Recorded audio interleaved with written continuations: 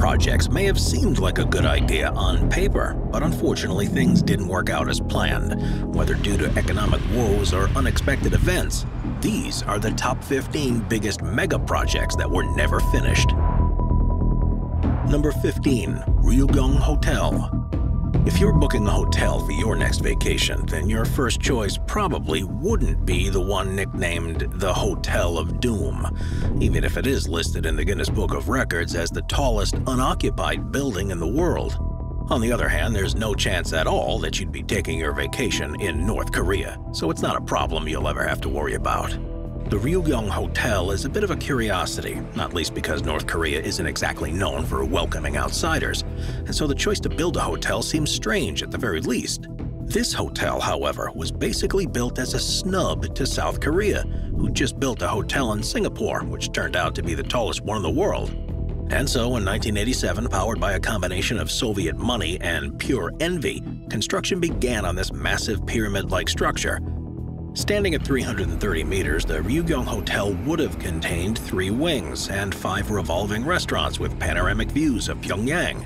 But by 1991, however, the Soviet Union was no more. The money dried up, and in 1992, everything stopped. Well, for the next 16 years at least.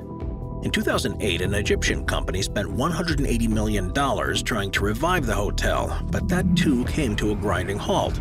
And today it's mainly used for North Korean history exhibitions, with messages from the government displayed on the outside. Given the money required, along with the fact that North Korea is a very poor country, it seems unlikely that the hotel will ever be completed. Which is a shame if a nice relaxing holiday in Pyongyang is on your bucket list.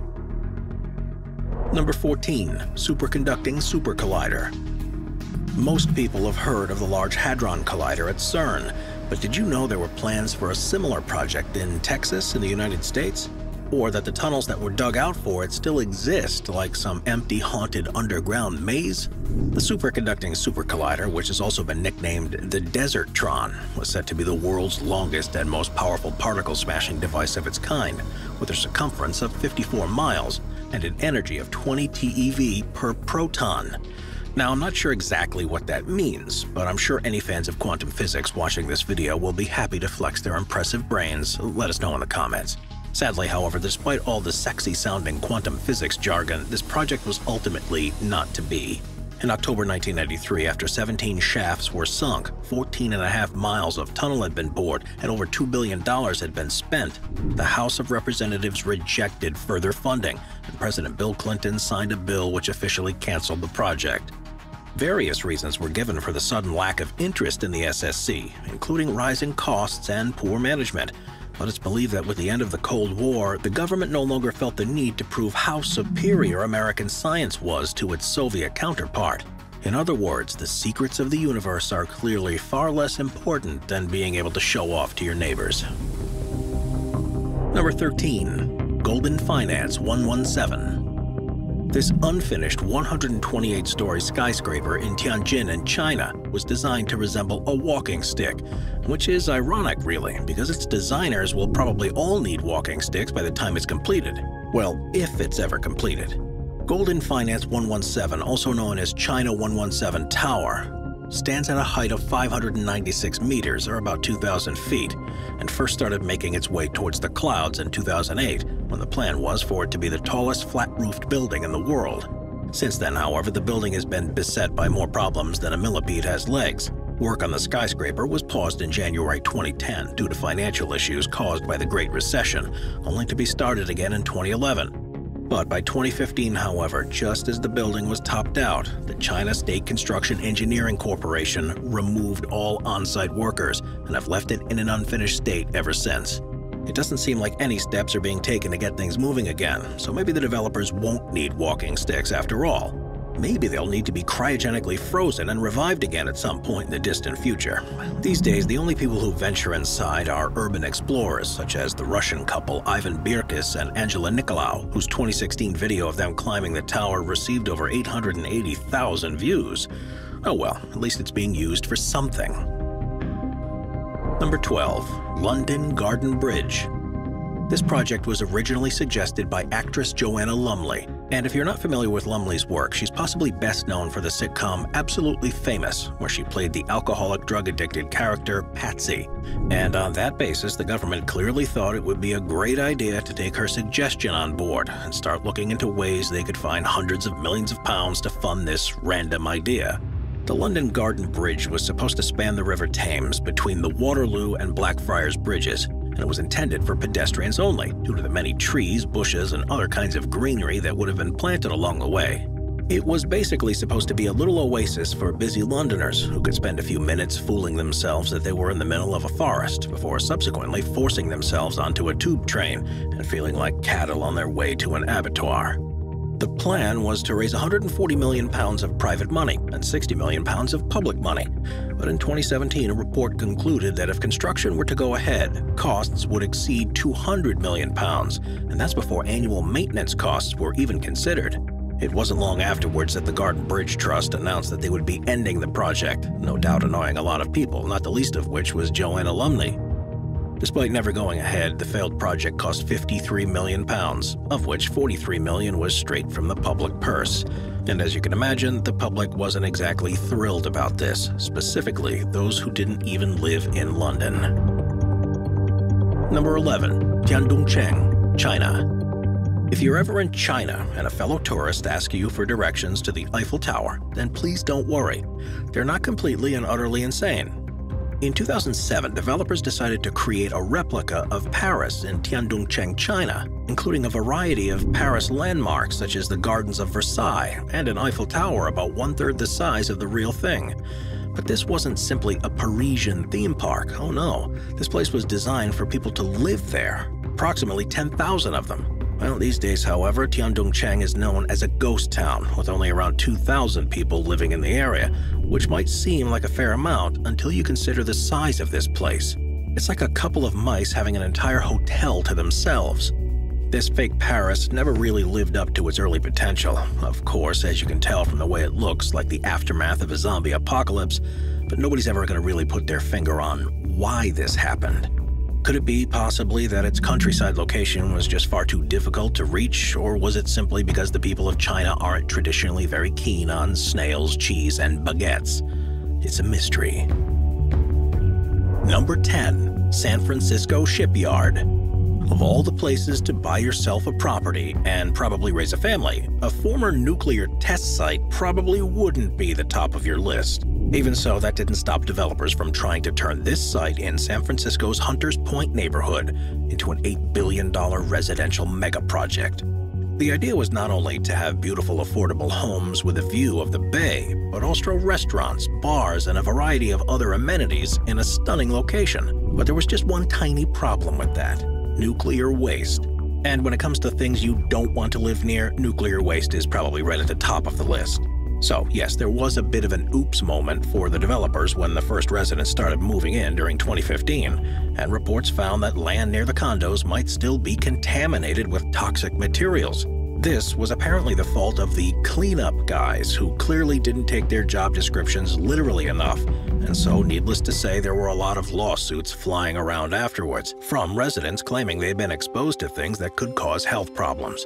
These days, the city of San Francisco has refused any further development on the site, which is probably for the best if you don't want a new breed of San Francisco-based mutant on your hands. Number 9. Harmon Tower, Las Vegas. If you want to lose your money, then Vegas is usually the best place to go, although most of us would probably lose it on the betting tables rather than trying to build a massive 49-story hotel and then simply demolishing it again. This was the work of MGM Mirage, who planned to add this tower to the Vegas Strip as part of their $8.5 billion city center complex. Approximately $275 million were spent on building 26 floors of the Harmon Tower until 2008 when the inspectors said that the steel used would be unable to support the remaining floors. And so in 2014, after much time in court, demolition began before an earthquake could do the job for them. The demolition cost over $11 million, so it was essentially a very good way of flushing your money down the toilet. But once again, if you're gonna flush your money away, then the Vegas Strip is the best place to do it. Is it just me, or is this the very definition of poetic irony? Number 8. Palace of the Soviets, Moscow. We're gonna take a step back in time for this next entry. Had it been completed in the 1930s or 40s as planned, then the Palace of the Soviets would have been the world's largest structure. At 416 meters, or about 1,365 feet tall, its interior would have been able to contain six of the tallest American skyscrapers, and its Grand Hall alone would have seated over 20,000 people. And that's one serious catering bill if you ever fancy inviting people over for dinner. The striking design of stacked cylinders topped off with a 100-meter statue of Lenin would certainly have been head-turning, but sadly it was not to be.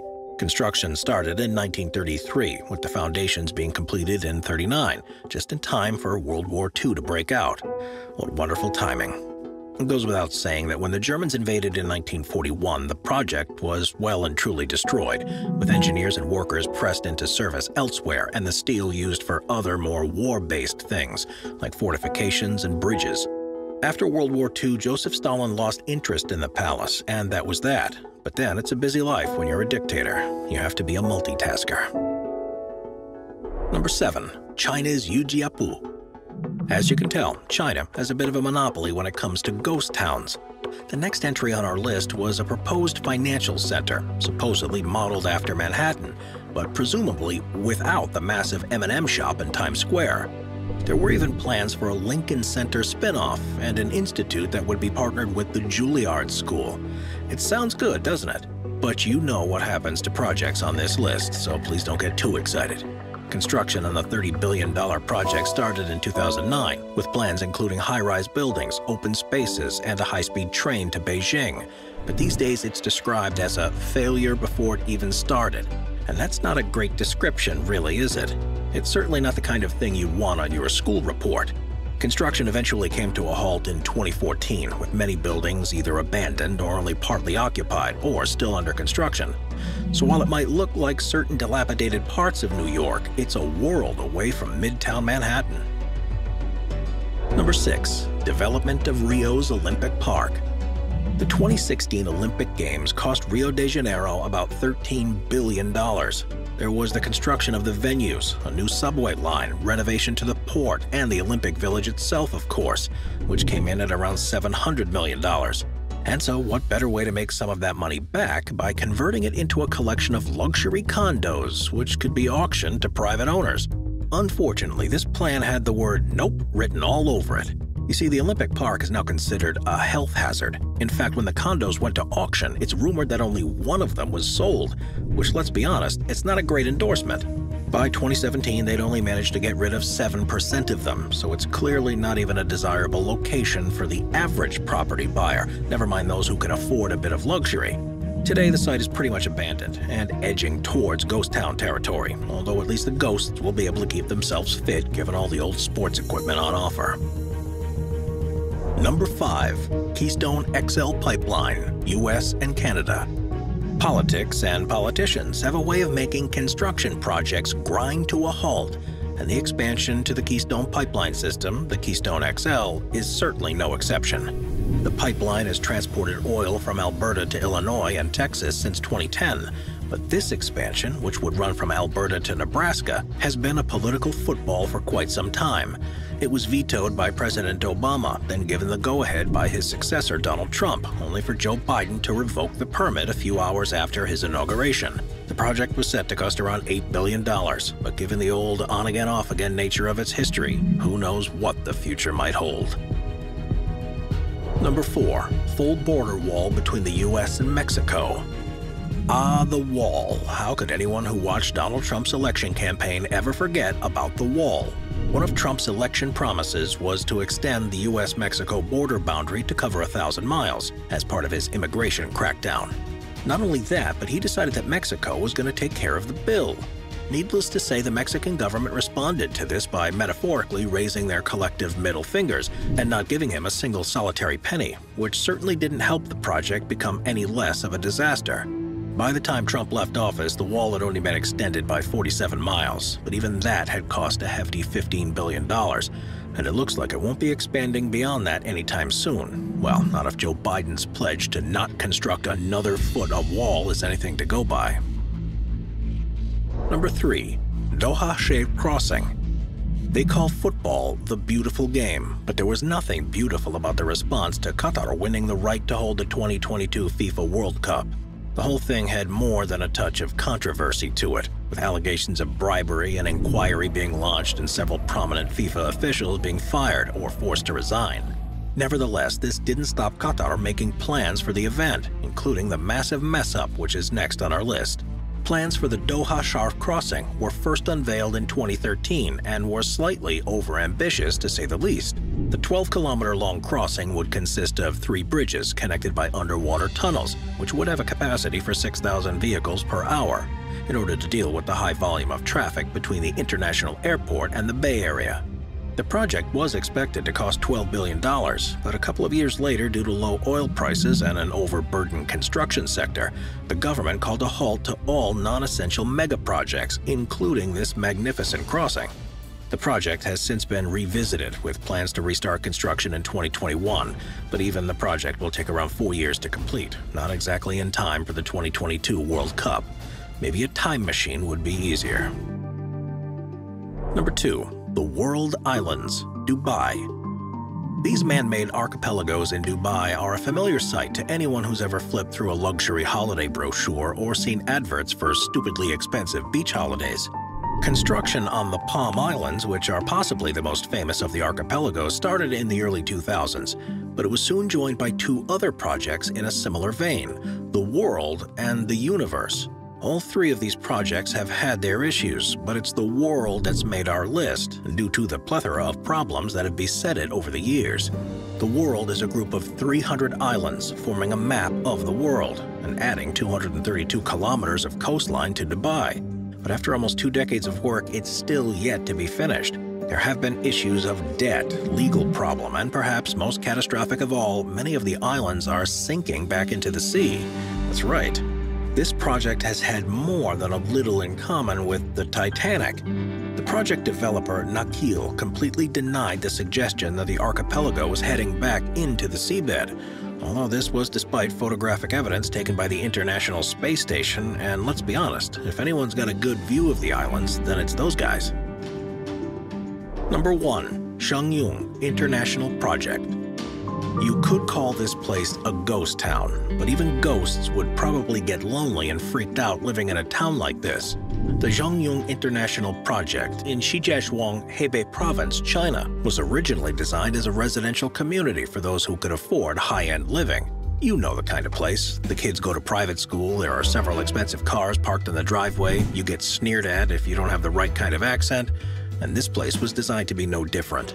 The brainchild of Hebei Real Estate Development Group, this 1,300-acre development was supposed to be split into two distinct parts, a residential district featuring classy European-style buildings and modern skyscrapers, and an entertainment district containing shopping malls, parking lots, and even a massive water-based theme park. In 2017, however, the developer was put under investigation for corruption. Property prices plummeted, and the company declared bankruptcy project was seized by local authorities and the 700 people who had already bought property were no longer allowed to move in. These days, despite the easy access by road and rail, the only inhabitants in this place are the stray animals that wander the streets, no doubt wondering where all their two-legged counterparts have gone. That said, although the place is slowly but surely deteriorating, it's become a landmark for tourists eager to get a selfie in this strange and eerie environment. Watch our binge watching playlist if you'd like to watch all of our most popular top 15 videos.